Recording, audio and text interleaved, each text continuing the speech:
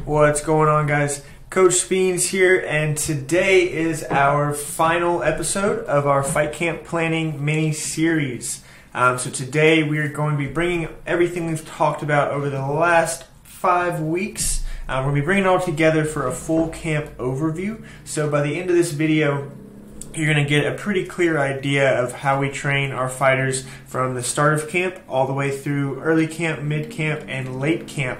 Um, so, we're going to be going over how we do our strength training, how we do our energy system development, and then also how we manage training load and fatigue across fight camp. So, let's get started. All right, so there's our title. We're bringing everything together for a full camp overview. Um, our main goals during fight camp are to prepare our fighter for the specific demands of his or her upcoming competition. And we want to improve our fighters' fitness and manage their fatigue levels so that way we can peak their fitness at the appropriate time, which is going to be fight night. All right, and then we're also going to kind of hold a perspective of we're not going to try to do everything. All right, we're just going to provide the icing on the cake, um, and that is their skills training. So if the if their skills training is the cake, our job is just to put icing on that cake and fill in any potential non-technical training gaps. Um, so we're going to be looking at the athletes training with their team or their coach or their time on the mat, and then we're going to be looking at what areas of their energy systems, their strength um, are missing, or kind of what areas are not getting developed. And so that way we can focus on developing those energy systems and then developing those specific types of strength that may be lacking in their skills training. And then lastly, we're going to be managing training load and fatigue across camp. And one of our rules during camp is that energy system development is going to take priority to strength development whenever we're um, either short on time or our athlete is coming in fatigued. If something's got to go, it's going to be our strength training. It's not going to be our conditioning or energy system development. All right, so now that we have an idea of what our goals are, let's take a look at what this is going to look like when we bring it all together. So, I'm to move this up here. All right, so we've got everything split up between early camp, mid camp, and late camp.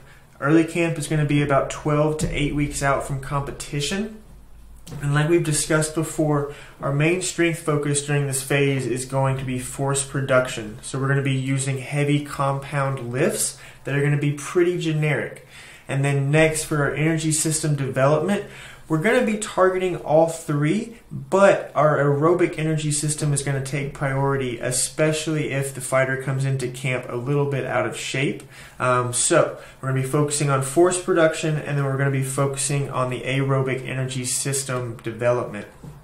All right, and then so down here we've got a couple different qualities that we're going to be looking at or um, of things we're going to be aware of as we manage training load and fatigue. It's going to be volume, intensity, specificity, and then we're also going to look at the relative fatigue levels and fitness levels of our fighter across each stage. So in early camp, the volume, we're going to be focusing on accumulating volume. So it's going to be about a medium range on the volume, and intensity is going to be staying pretty low as we accumulate more volume through this phase.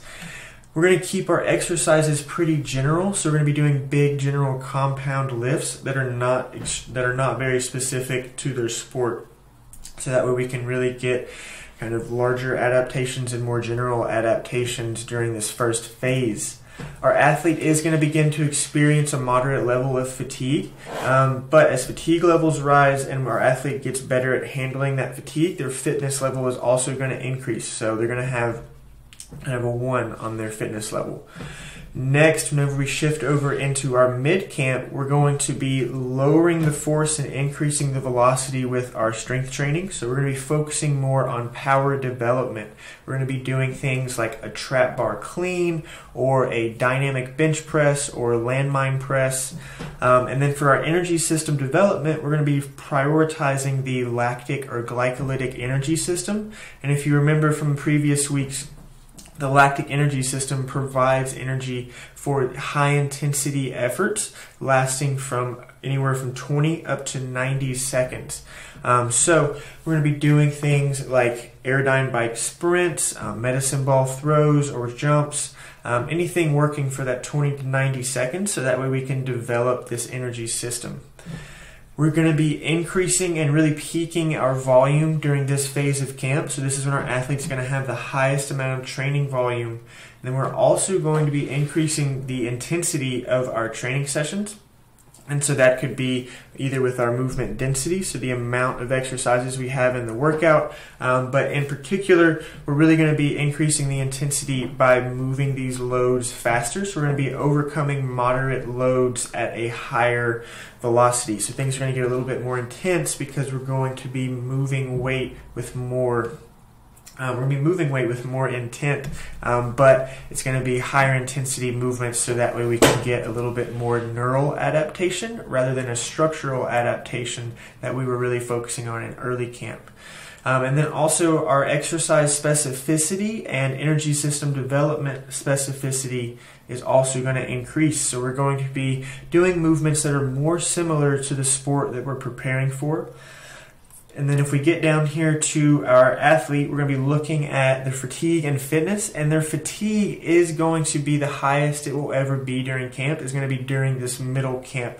Um, so this is really a tough portion of camp where the athlete is working through a lot of fatigue. Um, their fitness levels are going to be increasing, but they're not really going to be able to express that fitness because they're carrying so much accumulated fatigue over the last four to eight weeks of training. Um, next, we're going to be moving over into late camp. This is their final phase of camp where they're getting close to competition. So we're really going to be decreasing the force a lot for our strength training, and we're going to be increasing the velocity. So we're going to be focusing on very explosive movements that are targeting top speed or close to those um, higher velocity movements. So these will be things like medicine ball slams, throws, punches, really focusing on redirecting forces as quickly as possible.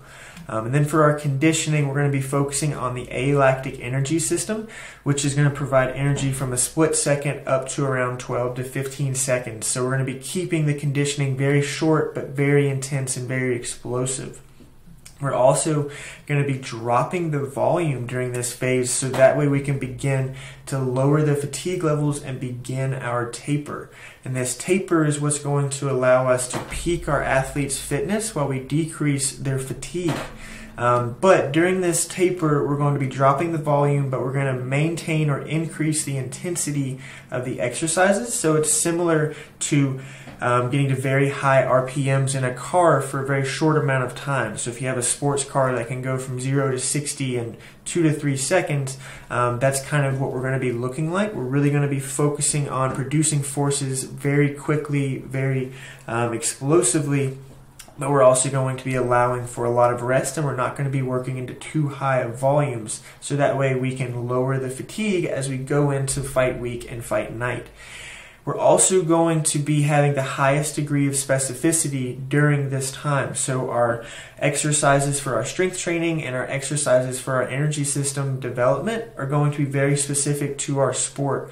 Um, so for our alactic conditioning, rather than doing six second sprints, we may do a six second sprint on a heavy bag, or we may have them do um, takedown fit ins with a partner for six seconds.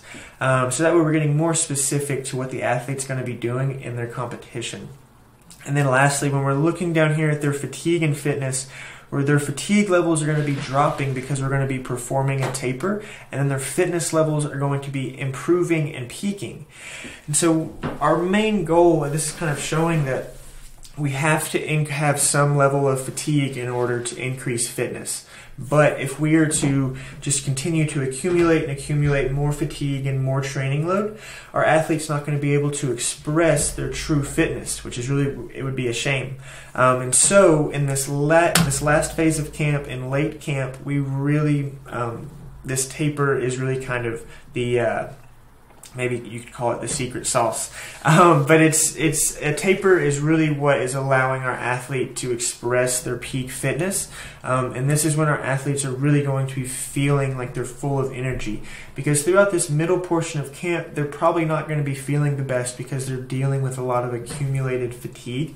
But as they get into these last few weeks of camp, this taper is really going to allow them to express their true fitness, which is really exciting to see.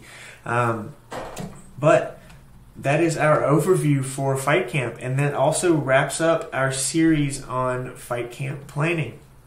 So we uh, it's been pretty exciting with you guys. Um, I hope you all learned something. If you have any questions, like always, throw them in the comments um, or get us and shoot us a DM on Instagram. You can check us out at Vanguard Sports Performance.